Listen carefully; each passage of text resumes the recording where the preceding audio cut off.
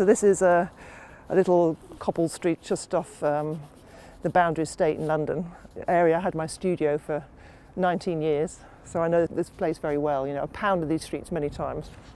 And what we're going to do is cast a spill or a kind of puddle of cold cure rubber, which is um, a two-part mix of rubber. And when that gets poured on the pavement, it will run where it wants to run. And then when it's set, we'll pull up the piece of the spill and then I'm going to make a, um, make a mould from that and cast it in, in bronze. So it's kind of, um, we'll have all the contour of the street below. The pieces I've made before, I've made two, two bigger crack pieces which are much more um, structured and deliberate and they are made in black bronze and when I pulled all this up, very often it's dirty and black from the earth, the cracks particularly because beneath this is the earth which I really like. You know, we, we're all, you know, it's all kind of paved over London, but you don't have to dig down very far to find black soil, really.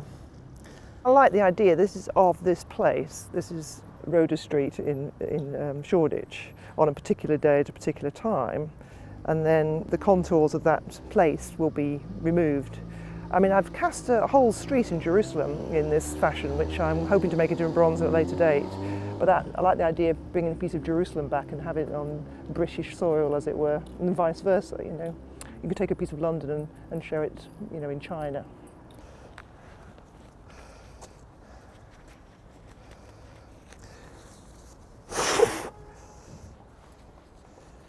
Okay, so this is uh, a few hours later and it's pretty hard, so that's good.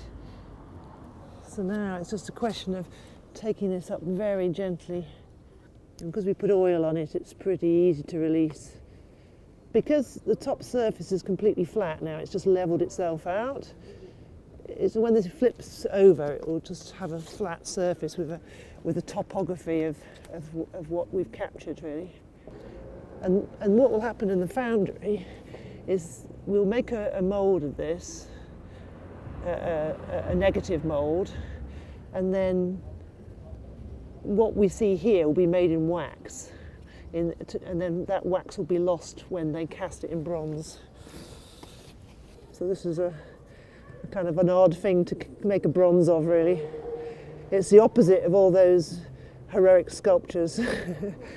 you know, this is the unheroic, really. It's, it's almost like the ultra mundane.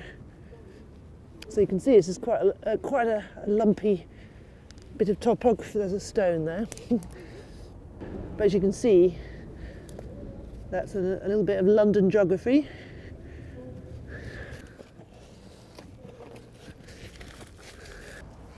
A little bit of street, a little bit of road Rhoda Street.